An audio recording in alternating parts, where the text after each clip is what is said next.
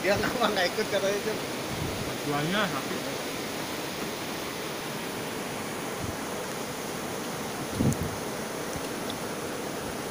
Lama aja makan begini aja enak ya bang. Hah? Kita jalan-jalan daripada makan di warteg. nggak kebayang nanti